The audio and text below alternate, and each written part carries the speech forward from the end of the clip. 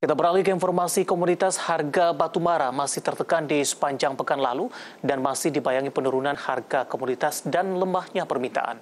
Kondisi berbeda terjadi pada harga minyak mentah yang berbalik menguat terdampak kesepakatan sementara plafon utang Amerika Serikat. Harga batu bara babak belur di pekan lalu.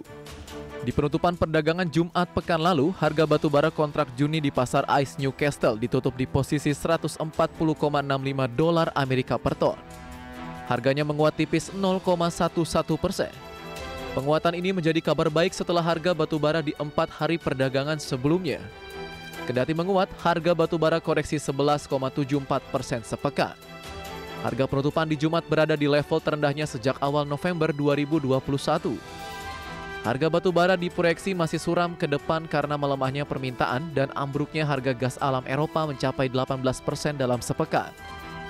Perbaikan harga batu bara kini hanya bisa berharap dari China, India, Vietnam, dan Filipina yang menjadi pasar terbesar batu bara di tahun ini.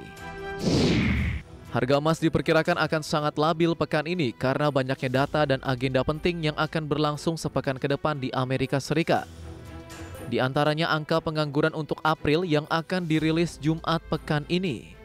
Amerika juga akan mengumumkan aktivitas manufaktur yang bisa menjadi gambaran pergerakan ekonomi.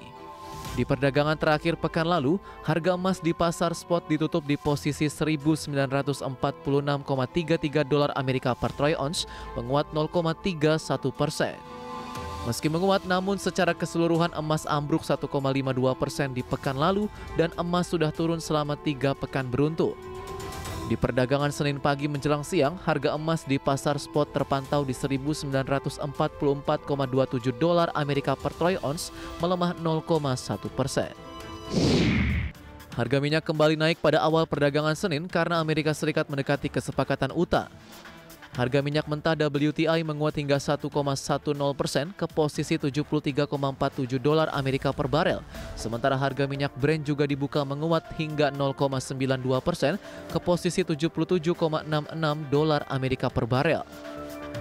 Sebelumnya di perdagangan Jumat, minyak WTI ditutup anjlok 1,17 persen ke posisi 72,67 dolar Amerika per barel.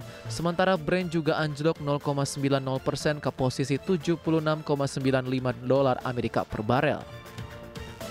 Harga minyak naik pada awal perdagangan hari ini karena pejabat Amerika tampaknya mencapai kesepakatan plafon utang meskipun hanya sementara dan pasar menimbang pesan yang bertentangan tentang pasokan dari Rusia dan Arab Saudi menjelang pertemuan kebijakan OPEC Plus berikutnya.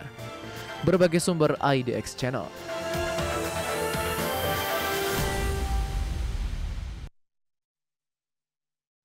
Dan bagaimana update terkini harga sejumlah komoditas yang berhasil diimpun oleh tim redaksi kami sampai dengan sore hari ini waktu Indonesia Barat di mana minyak WTI menguat di 0,88 persen di level 73,31 dolar Amerika per barrel.